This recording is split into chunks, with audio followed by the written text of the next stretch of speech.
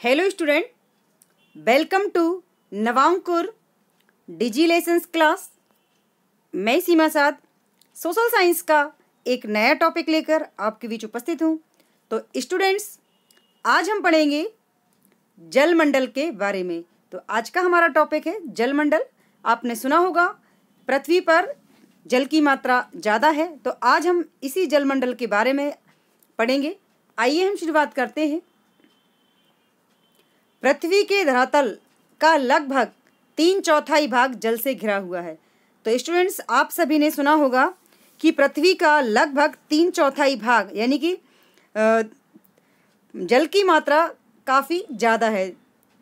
तीस मतलब तीन चौथाई हंड्रेड में से सेवेंटी फाइव परसेंट पृथ्वी पर जल है। पृथ्वी का जल से घिरा हुआ भाग ही जलमंडल कहलाता है। हम जलमंडल की बात कर रहे हैं तो जलमंडल होता क्या है? पृथ्वी का जल से घिरा हुआ भाग या जल से घिरा हुआ हिस्सा ही उसका जलमंडल कहलाता है।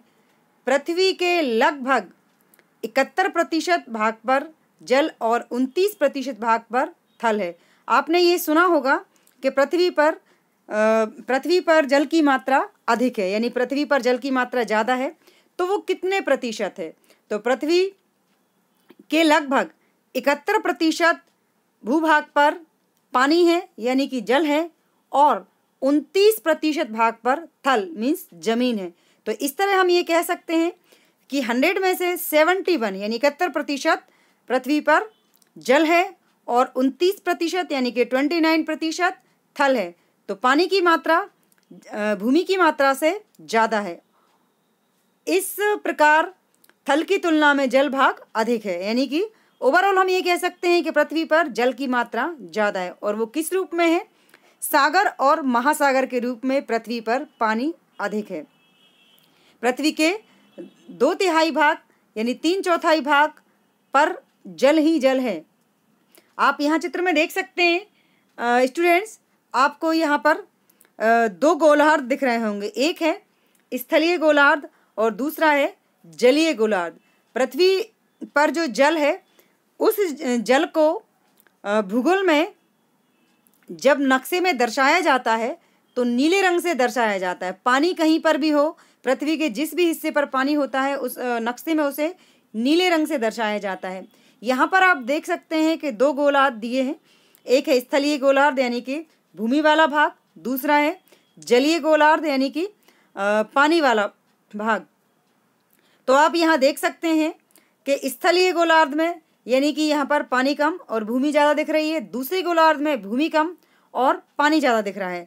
तो इसे हम जिसमें पानी ज़्यादा दिख रहा है उसे हम जलीय गोलार्ध कहते हैं। और जहाँ पर भूमि यानी कि जो पीला कलर है जो भूमि को इंडिकेट कर रहा है यहाँ पर ये भूमि ज़्यादा है। स्थलीय स्थल यानी कि भूमि और जल मीन्स पानी। तो इस तरह आपने सुना होगा कि पृथ्वी पर आ, को दो गोलार्धों में भी मतलब डिवाइड किया गया है। एक, जिसको हम गो यहाँ पर कह रहे हैं स्थलीय गोलार्ध और दूसरा कह रहे हैं जलीय गोलार्ध। वैसे दो गोलार्ध होते हैं, उत्तरी गोलार्ध और दक्षिणी गोलार्ध। उत्तरी गोलार्ध यानी ऊपर का भाग और दक्षिणी गोलार्ध यानी कि नीचे का भाग। ऐसे पृथ्वी को दो हिस्सों में बांटा गया है। तो यहाँ पर इसको हम जल की मात्रा और थल की मात्रा दोनों को दिखाने के लिए यहाँ पर आपको बताए बता रहे हैं। अब हम ये जानेंगे कि ये जो धरती पर या पृथ्वी पर पानी की मात्रा अधिक है, वह कैसे है? जलमंडल में महासागर, सागर, खाड़ियाँ, झीलें, नदियाँ, तालाब आदि सम्मिलित हैं। यानी जलमंडल में समुद्र तो हैं, समुद्र के अलावा यानी महासागर, सागर, खाड़ियाँ, झीलें, नदियाँ, तालाब, ये सभी जिन जिन में पानी की मात्रा है, यानी जो पानी वाले स्रोत हैं, ये सभी जलमंडल में आते हैं। सागर छोटे होते हैं, महासागर बड़े होते हैं। तो इस तरह खाड़ियाँ खाड़ियाँ भी छोटी होती हैं, जो कि तीन, जिनका तीन हिस्सा भूमि से घिरा रहता है और एक भाग जहाँ पर पानी होता है, ऐसे हिस्से को हम पृथ्वी के खाड़ी कहते हैं। झीलें, आपने नाम सुना होगा, नदी आप सभी जानते हैं, तालाब भी होते हैं। तो ये सभी पानी के स्रोत हैं और इन सभी में पानी होता है। इन सब के मिले जुले रूप को ही हम जलमंडल कहते हैं। पृथ्वी के धरातल पर जल और थल के वितरण में भिन्नता पाई जाती है। यानी पृथ्वी पर जल और थल के वितरण में काफ़ी अंतर है। उत्तरी गोलार्ध में थल भाग अधिक होने से इसे स्थलीय गोलार्ध कहते हैं। जैसा कि मैंने आपको बताया, स्टूडेंट्स, दो गोलार्ध होते हैं, एक होता है उत्तरी गोलार्ध, दूसरा होता है दक्षिणी गोलार्ध। पृथ्वी को दो गोलार्धों में बांटा गया है। ऊपर का हिस्सा आधा वाला भाग, उसे हम उत्तरी गोलार्ध कहते हैं, नीचे आधा भाग जो बचता है, उसे हम दक्षिणी गोलार्ध कहते हैं। तो इस तरह यहाँ पर आपको बताया गया है कि दक्षिणी गोलार्ध में जल भाग अधिक होने से इसे जलीय गोलार्ध कहते हैं। यानी कि जो नीचे वाला हिस्सा है, जिसे हम दक्षिणी गोलार्ध कहते हैं, उसमें पानी ज़्यादा है, इसलिए उसे जलीय गोलार्ध कहते हैं। और ऊपर का हिस्सा जहाँ पर पानी कम होता है, उसे हम उत्तरी गोलार्ध कहते हैं। जल के छोटे छोटे भाग जल जल के छोटे छोटे भाग सागर खाड़ी कहलाते हैं। जैसा कि अभी मैंने आपको ऊपर भी बताया कि ऐसा भूभाग जो, जिसके तीन दिशाओं में भूमि होती है और एक दिशा में जो पानी को टच करता है, पानी होता है, ऐसे भूभाग को हम खाड़ी कहते हैं। तो जल के छोटे छोटे भाग खाड़ी कहलाते हैं खाड़ी सागर कहलाते हैं और बड़े भाग को हम महासागर कहते हैं। यानी कि जो जल के बड़े स्रोत हैं, वो महासागर के नाम से जानते हैं, जिन्हें हम कहते सभी को समुद्र हैं। लेकिन इनमें भी फ़र्क होता है, जो बड़े जहाँ पर अधिक मात्रा में पानी होता है, जिन समुद्रों में, उन्हें हम महासागर के नाम से जानते हैं। जो समुद्र छोटे होते हैं, उन्हें हम सागर के नाम से जानते हैं, और जो तीन तरफ़ से भूमि से घिरे होते हैं, और जिसकी एक तरफ़ पानी होता है, उसे हम खाड़ी कहते हैं। तो इस तरह ये तीनों ही स्रोत पानी के हैं, कहीं कम और कहीं ज़्यादा। विश्व के बड़े महासागर। अब हम चूँकि सागर और महासागर की बात कर रहे हैं तो मैं आपको यहाँ पर बताना चाहूँगी कि पूरी पृथ्वी पर चार बड़े महासागर हैं। कितने? चार। चार महासागर हैं और उसके बाद जितने भी समुद्र हैं, वे सब सागर के नाम से जानते हैं। उन्हें हम सागर कहते हैं और उनके अलग अलग नाम हैं। लेकिन महासागर सिर्फ़ चार हैं। उनके नाम इस प्रकार हैं। नंबर एक, प्रशांत महासागर। नंबर दो, अटलांटिक महासागर। और नंबर तीन पर है, हिंद महासागर तथा नंबर चार है, आर्कटिक महासागर। तो इस तरह पूरी पृथ्वी पर ये चार महासागर हैं और इन चार महासागरों में सबसे जो बड़ा महासागर है, वह है प्रशांत महासागर, जो कि सबसे बड़ा और गहरा सागर है। ये प्रशांत महासागर है। तो इस तरह हम ये कह सकते हैं कि पृथ्वी पर जल की मात्रा ज़्यादा है और वो किस रूप में है? सागर और महासागर के रूप में। पृथ्वी पर नाइन्टी सेवन परसेंट यानी संतानवे प्रतिशत जो पानी है वह सागर और महासागर का ही है। सागर और महासागर ही के रूप में पानी है और बाकी जो ती, तीन परसेंट बचता है उसमें दो परसेंट में आपका नदी झरने, ये सभी आते हैं और एक परसेंट जो बचता है, वो आता है भूमिगत जल जो कि पीने लायक होता है। तो इस तरह पृथ्वी पर पानी की मात्रा तो है, लेकिन उसमें पीने वाले पानी की मात्रा कम है। तो स्टूडेंट्स आपको समझ में आ गया होगा कि पृथ्वी पर ये जो पानी है, वो किस रूप में है और उसके कौन कौन से साधन हैं। तो पानी पृथ्वी पर सागर और महासागर के रूप में फैला हुआ है। जैसा मैंने अभी आपको बताया कि पूरी पृथ्वी पर चार महासागर है। कितने महासागर हैं? चार महासागर है। तो पहला जो सबसे बड़ा महासागर है, वो है प्रशांत महासागर। तो अब इस प्रशांत महासागर, यह विश्व का सबसे बड़ा महासागर है। ये मैं आपको बता चुकी हूँ कि यह विश्व का सबसे बड़ा महासागर है। इसकी औसत गहराई लगभग चार हज़ार दो सौ मीटर है। यानी प्रशांत महासागर की जो गहराई है, वो कितनी है? चार हज़ार दो सौ मीटर इसकी गहराई है। और उत्तर की ओर यह सकरे, बैरिंग जल डमरू मध्य द्वारा उत्तरी ध्रुव सागर। यानी कहाँ से कहाँ तक ये फैला हुआ है तो यह उत्तर की ओर सक्रे, बैरिंग जल डमरू मध्य द्वारा उत्तरी ध्रुव महासागर से जुड़ा है। दक्षिण में यह अंटार्कटिका तक फैला हुआ है। अंटार्कटिका एक महाद्वीप है। वहाँ तक दक्षिण दिशा में ये फैला हुआ है प्रशांत महासागर। इसमें कई गहरे गर्त हैं। गर्त मीन्स होता है खड्डे। संसार का सबसे बड़ा गर्त मेरियाना है, जिसकी जो गहराई है वो है ग्यारह हज़ार बाईस मीटर। तो दुनिया का सबसे बड़ा गर्त प्रशांत महासागर के अंदर है और प्रशांत महासागर में जो सबसे बड़ा गर्त है उसका नाम है मैरियाना। इसकी गहराई है ग्यारह हज़ार बाईस मीटर। अब हम बात करेंगे दूसरे महासागर की, जिसका नाम है अटलांटिक महासागर। कौन सा महासागर स्टूडेंट्स अटलांटिक महासागर। यह विश्व का दूसरा बड़ा महासागर है। इसकी औसत गहराई लगभग तीन हज़ार मीटर है। यानी प्रशांत महासागर की गहराई चार हज़ार दो सौ मीटर है। तो अटलांटिक महासागर की गहराई तीन हज़ार मीटर है। यानी कि इससे छोटा है तो कम है। यह उत्तर में वेफेन खाड़ी, हड़सन खाड़ी पूर्व में उत्तरी सागर से दक्षिण में अंटार्कटिका महाद्वीप तक फैला हुआ है। यानी कि यह है उत्तर में वेफिन की खाड़ी हड़सन की खाड़ी और पूर्व में उत्तर उत्तरी सागर से दक्षिण में अंटार्कटिका महाद्वीप तक फैला हुआ है। यानी यह भी दक्षिण में अंटार्कटिका महाद्वीप तक फैला हुआ है। अब हम बात करेंगे तीसरे हिंद महासागर की। हिंद महासागर जैसा कि इसका नाम है हिंद महासागर तो यह हमारे देश, भारत की दक्षिण दिशा में भी स्थित है। यानी पृथ्वी पर जो चार महासागर हैं, उन चार महासागरों में से एक महासागर हमारे देश, भारत में भी स्थित है और यह हमारे देश की दक्षिण दिशा में स्थित है।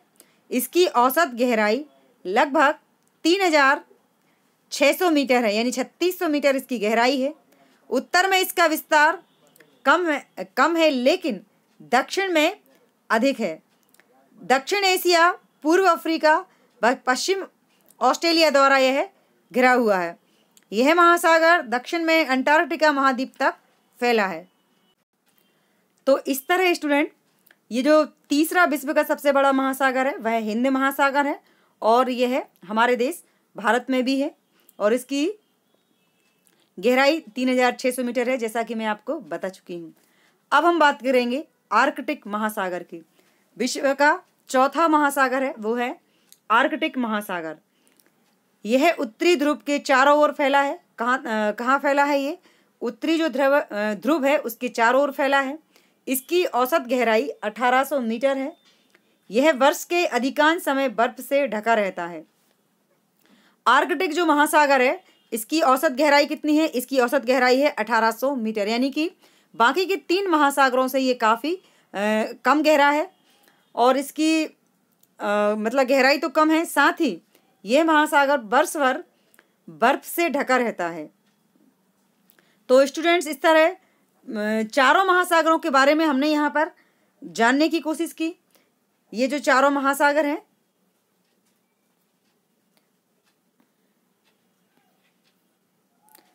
तो ओवरऑल हम ये कह सकते हैं कि पृथ्वी के इकहत्तर प्रतिशत भाग पर जल और उनतीस प्रतिशत भाग पर क्या है? थल है। उत्तरी गोलार्ध में जल भाग कम और दक्षिणी गोलार्ध में जल भाग अधिक है। इसके बाद संसार का सबसे बड़ा महासागर कौन सा है? प्रशांत महासागर है और इसकी जो गहराई है, वह चार हज़ार दो सौ मीटर है। तो इस तरह स्टूडेंट्स आपको इन सभी महासागरों के बारे में याद रखना है कि कौन सा महासागर बड़ा है, कौन सा छोटा है और किस किस महासागर की कितनी गहराई है? अब हम बात करेंगे महासागरों की तली की। यानी जिस तरह धरती पर तली होती है वैसे ही महासागरों के अंदर भी तली होती है। यानी इतने गहरे होते हैं गहरे होने के बाद भी उनके भी नीचे त, मतलब तली होती है ज़मीन होती है। तो वो किस तरह होती है उनके बारे में हम यहाँ पर जानने की कोशिश करेंगे। स्थल मंडल के समान ही जल मंडल ऊँचे नीचे भाग स्थित है। यानी जिस तरह स्थल मंडल एक समान नहीं है, कहीं ऊँचा है, कहीं नीचा है, कहीं उबड़ है, कहीं खाबड़ है, वैसे ही जल मंडल में भी ऊँचे नीचे भाग स्थित हैं। महासागरीय तली महाद्वीपीय किनारे से लेकर अत्य अत्यधिक गहराई तक भिन्न भिन्न होती है। यानी महासागरों की जो तली होती है, वह महाद्वीपीय किनारे से लेकर अत्यधिक गहराई तक अलग अलग तरह की होती है। जिस प्रकार महाद्वीप महाद्वीपों के धरातल पर पर्वत, पठार, मैदान आदि पाए जाते हैं। ठीक उसी प्रकार महासागरों की तली भी ऊँची नीची होती है। यानी जिस तरह महाद्वीपों पर पर्वत, पठार, मैदान आदि पाए जाते हैं, उसी तरह महासागरों की तली भी ऊँची नीची होती है। उसमें भी ये पर्वत, पठार, मैदान पाए जाते हैं। समुद्र कहीं कम गहरा होता है तो कहीं अधिक गहरा होता है। समुद्र की तली को बनावट के आधार पर हम चार भागों में बांट सकते हैं। यानी हम समुद्र की, यानी महासागरों की तली की बात कर रहे हैं तो वो जो तली होती है महासागर की, उसे हम बनावट के आधार पर चार भागों में बांट सकते हैं कि किस तरह की होती है। नंबर एक है, महाद्वीपीय निमग्न तट। क्या है? महाद्वीपीय निमग्न तट। तो ये कैसे होते हैं यहाँ पर आप? चित्र में भी देख सकते हैं कि महासागरीय तली किस प्रकार की होती है। महाद्वीपों के चारों ओर तट के पास की भूमि, जो जल में डूबी होती है, उसे हम महाद्वीपीय निमग्न तट कहते हैं। तो किसे कहते हैं? महाद्वीपों के चारों ओर तट के पास की भूमि। महाद्वीप के चारों ओर तट के पास की जो भूमि होती है, उसे जो कि पानी में डूबी होती है, उसे हम महाद्वीपीय निमग्न तट कहते हैं। ये तट मछलियों के भंडार माने जाते हैं, यानी निमग्न तट पर मछलियाँ अधिक मात्रा में पाई जाती हैं।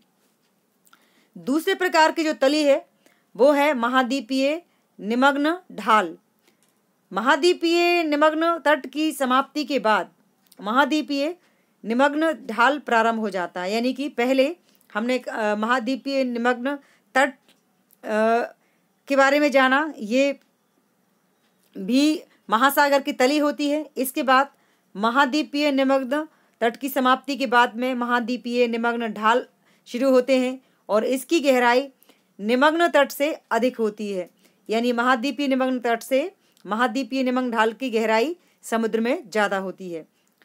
अब नंबर तीन पे आता है महासागरीय गहरे मैदान। तो जिस तरह हम बात कर रहे हैं कि धरती पर कहीं पर्वत, कहीं पठार, कहीं मैदान होते हैं तो कहीं ऊंचाई का जो अधिक भाग अधिक ऊंचाई वाला जो भाग होता है, उसे हम पर्वत कहते हैं।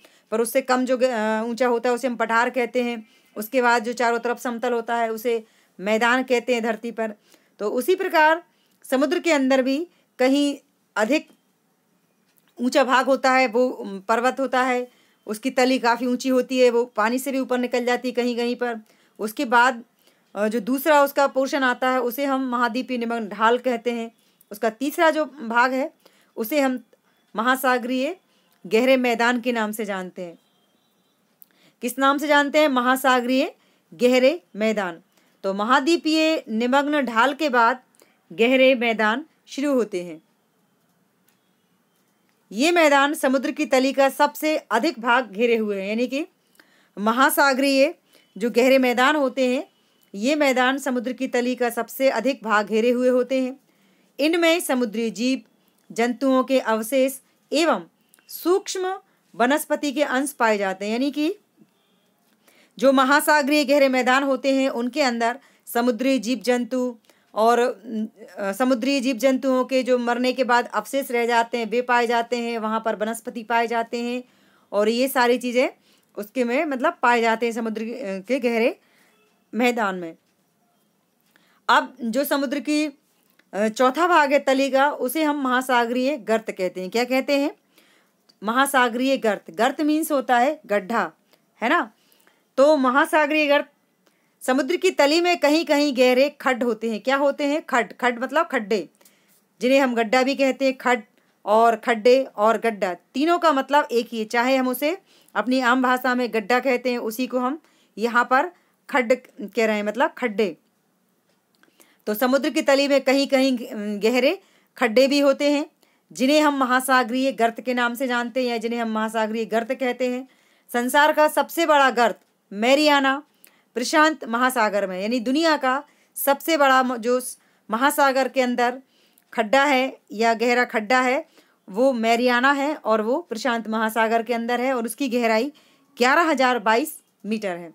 तो इस तरह स्टूडेंट हमने पृथ्वी पर स्थित चारों महासागरों के बारे में जाना और उनकी महासागरों की तली किस प्रकार होती है, उनकी बनावट किस प्रकार होती है, वो चार प्रकार की होती है, उसे हमने समझने की यहाँ पर कोशिश की है। महाद्वीपीय निमग्न तट मछलियों के भंडार होते हैं। उसके बाद महासागरीय मैदान समुद्र की तली में सबसे अधिक भाग घिरे हुए होते हैं और संसार का सबसे बड़ा गर्त मैरियाना गर्त है। तो ये जो तीन बड़ी बड़ी बातें थी जो खास बातें थी, वो मैंने आपको यहाँ पर दोबारा रिपीट करके बताने की कोशिश की है। Thanks for watching